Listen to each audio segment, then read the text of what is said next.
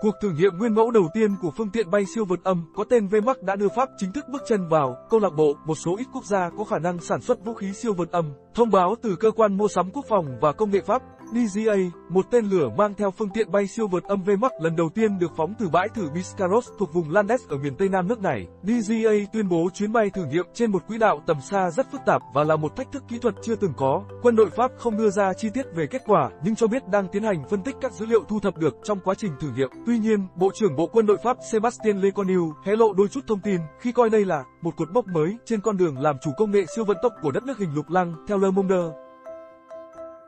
Quân đội Pháp sớm nhận thức được những cơ hội mà vũ khí siêu vượt âm có thể mang lại cho chính họ và các đồng minh, cũng như những mối đe dọa mà công nghệ mới này có khả năng gây ra cho những đối thủ của họ.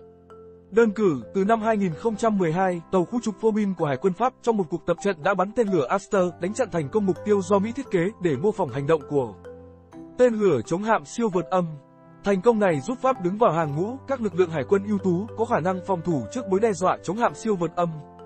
Dẫu vậy, trong cuộc đua phát triển khả năng tấn công bằng vũ khí siêu vượt âm, quân đội Pháp lại tỏ ra chậm chân đáng kể so với một số cường quốc trên thế giới.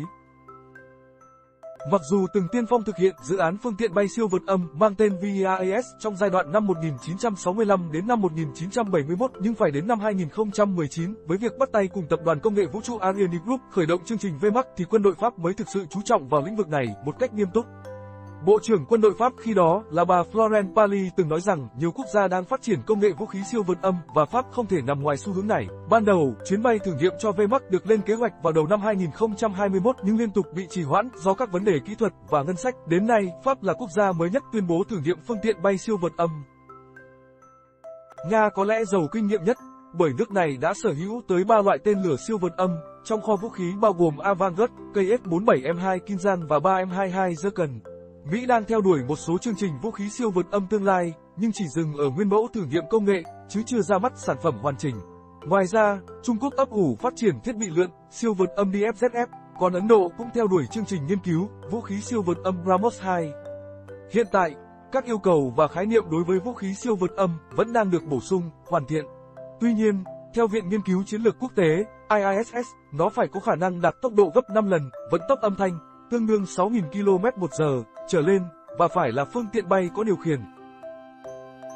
Không giống như tên lửa đạn đạo có quỹ đạo cố định khi phóng, vũ khí siêu vượt âm có thể cơ động và thay đổi quỹ đạo bay của đầu đạn sau khi tách ra khỏi tên lửa đẩy, khiến vũ khí rất khó bị đánh chặn bởi các hệ thống phòng thủ tên lửa hiện nay cũng như trong tương lai. Vũ khí siêu vượt âm đang được thiết kế để mang đầu đạn hạt nhân hoặc đầu đạn thông thường. Những năm gần đây, cùng với việc chủ động điều chỉnh chiến lược của mình, các cường quốc trên thế giới cũng tăng cường cạnh tranh trên nhiều lĩnh vực quân sự, trong đó có phát triển vũ khí siêu vượt âm nhằm nâng cao năng lực gian đe chiến lược. Rõ ràng, với những tính năng đặc biệt, vũ khí siêu vượt âm đã và đang tạo ra cuộc chạy đua vũ trang mới trên toàn cầu. Theo quân đội nhân dân, cảm ơn các bạn đã xem bản tin.